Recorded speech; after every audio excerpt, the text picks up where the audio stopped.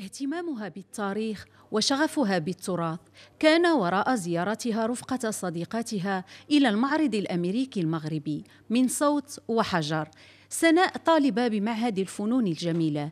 يستهويها هذا النوع من المعارض الفنية للوقوف على المكنونات التراثية للذاكرة المشتركة بين الولايات المتحدة الأمريكية والمملكة المغربية. جيت هنايا باش نتعرف على التاريخ والثقافة الأمريكية والحاجة المشتركة اللي كتجمع بين الثقافة الأمريكية والثقافة المغربية. من صوت وحجر. شعار معرض يحتفي بالذكرى المئتين لتأسيس أول مفوضية أمريكية في العالم بمدينة طنجة شمالي المغرب.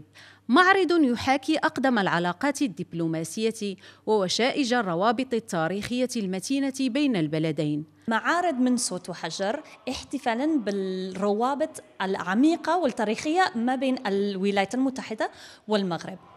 يركز هذا المعرض على المبنى المفودية اللي في طنجة واللي أعطاه آه، في عام 1821 منذ 200 عام سلطان مولاي سليمان للولايات المتحدة كعربون الصداقة هنا بمتحف عبد الرحمن سلاوي في مدينة الدار البيضاء الكبرى يسافر المعرض الأمريكي المغربي بالزائر عبر الزمان لاكتشاف عبق التاريخ والمقومات الحضارية والتراثية التي أسست للصداقة بين البلدين من خلال عرض مجموعة من التحف النادره من قطع تاريخية ثمينة ورسائل واوسمه وقلادات وأحجار وآلات موسيقية وأغراض شخصية لمشاهير ونجوم أمريكيين ومغاربة طبعوا مسار تلك المرحلة من التاريخ. فتحوا الباب لعدة معارض مؤقتة مثل هذا المعرض هذا اللي كيحيي العلاقات بين الدولتين المغربية والدولة الأمريكية.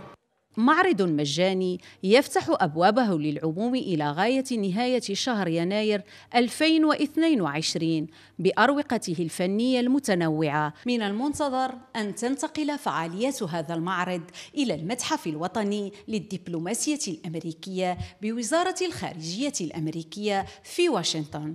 نهاية شهر يناير 2022 لإتاحة الفرصة للمهتمين للاطلاع على بعض أسس العالم العلاقة التاريخية بين البلدين بكل مقوماتها السياسية والدبلوماسية والتراثية وغيرها. فاطمة البكاري الحرة الدار البيضاء.